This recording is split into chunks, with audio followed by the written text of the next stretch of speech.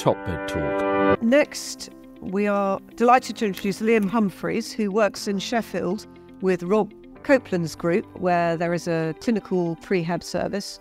And his background is in sports psychology, but has moved towards the psychology of behavioural change and psychological support in prehabilitation, and is going to discuss what's important in psychological intervention. Is it psychological or behavioural that is the key element?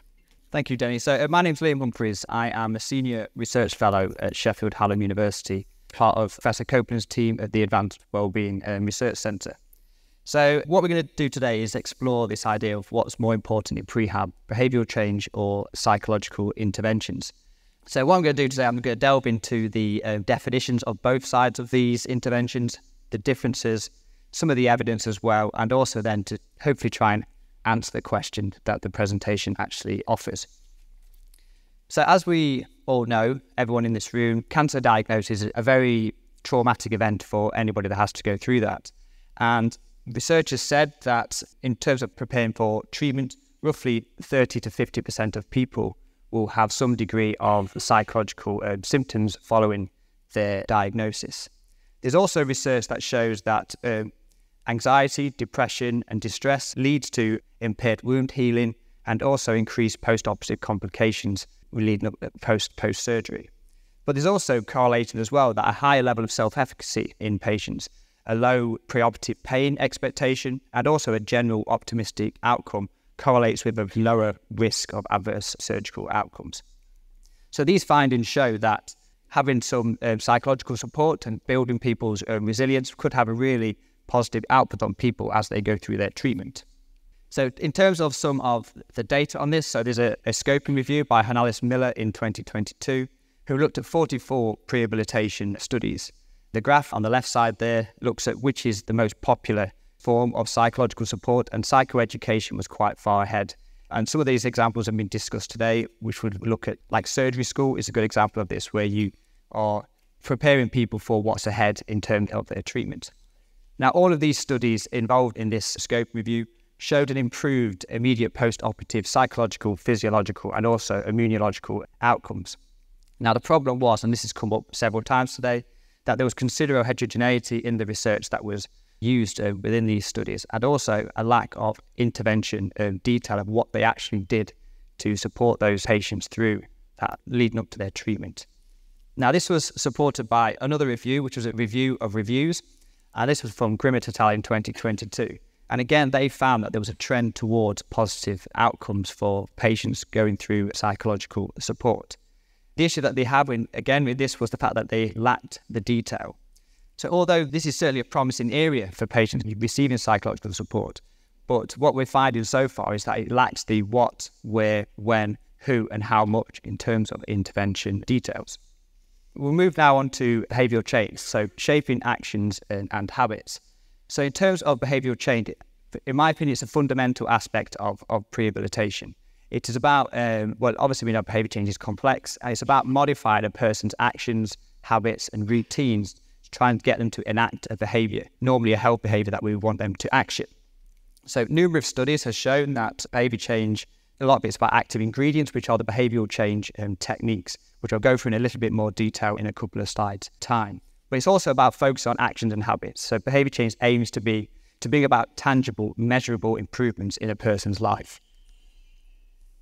So in terms of the, the research in this area, so as part of the development for the prehabilitation guidelines, I was part of the team that did the um, narrative synthesis for the psychological and behavior change um, aspect of the of the guidelines, which was led by again by Professor Copeland. And again, education was the was the highest in terms of the most common sort of psychological um, intervention. And within this, so we had 182 primary um, studies, which included 32 studies that uh, had some aspect of psychological support and also behavior change sort of in, in combination. And once again, these studies, they did not map the interventions that they did or include some kind of taxonomy. And the use of behavior change theory was used scarcely within these studies, so it's hard to know exactly what they're actually delivering and, and how they decide on those interventions. So, it, in my opinion, work is urgently, urgently needed to map behavior change techniques within prehab so we can also get an idea of the um, what behaviour change that they're using. And this also comes from the NICE guidance as well, which states that behaviour change should be explicit about what they are delivering in, the, in their interventions and what the theory of change that they're actually using, and also explain how it works. So this will probably be familiar because it was a, it came up earlier. So this is one of the examples that people can use when they are designing their intervention, which is about trying to target a person's capability, opportunity, and motivation in order to get them to enact behavior or change their behavior. So this is the COM-B model, and it is the central component to the behavior change wheel, which was developed by uh, Michie and colleagues, which put which has 19 different behavior change frameworks combined within the model. And the behavior change wheel incorporates behavior change theory to provide a systematic framework for intervention designers to develop a, a behavior change um, intervention. I also want to touch again, I, I mentioned the theory of change a second ago, because in my opinion, the best interventions are underpinned by clear theories that explain the what, explain the why, and also explain the who. I wanted to sort of answer when you're designing an intervention is being able to ask these questions. Is why is the intervention needed? what is the intervention? What does it need to do? And why is the intervention important? And what will it achieve? Um, so these are the sort of things to help us uh, design. And the COM-B model and the behavior change wheel can be applied to these as well to make it quite a robust process. I also mentioned briefly the behavior change techniques. So there's also the behavior change techniques taxonomy, which again was developed by Michie and colleagues. And this includes 93 different behavior change techniques that people can use within their research and they are grouped into 16 clusters. Now, it is a whole process for this because there, there is an app there because there's a way that you could you could even code what your intervention is onto these behavior change techniques. But it does it allows us a way of actually mapping what we're actually using within our interventions. But also something that's come up uh, in I think in every presentation so far today is the personalizing of prehabilitation strategies. So again, the line at the top there, which is from Grimmett and colleagues, we, we talks about how we lack focus in terms of behavioral science within prehabilitation. But also, we need to make sure that these interventions are developed with person centered approaches. And this will also increase engagement. Now, engagement is key. And again, I say it's come up in most of the presentations again, because we do run the risk of increasing the health inequalities in these sorts of research, where we're only accessing the people that probably would have done some done the health behaviors themselves anyway. And the people that could probably stand to gain the most are probably being left left behind. I, I do think that uh, we need to make sure that is something that doesn't happen.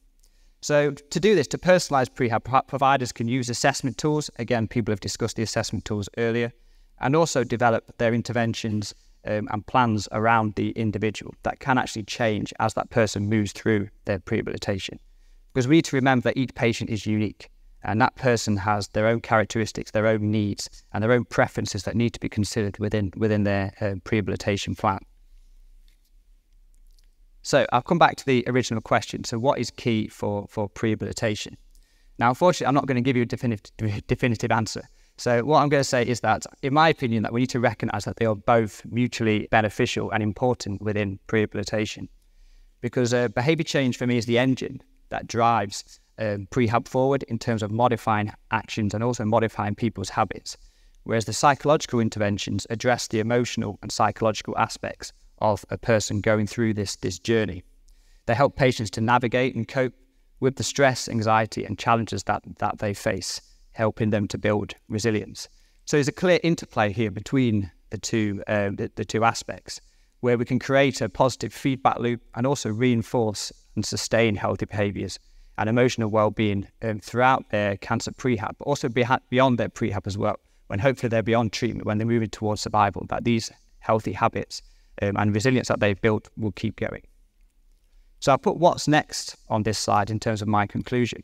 And this is for all, us all here as researchers and practitioners as well, is what can we do to improve the um, the, the, interventions that we are that we are um, developing? Because for me, both are integral components, each com- um, contributing to unique elements of the journey towards well-being. Um, behavior change frameworks and techniques are, are there for us to help people develop healthy habits and also psychological support is there to help address these physio- the psychological sorry, factors for, for lasting um, resilience.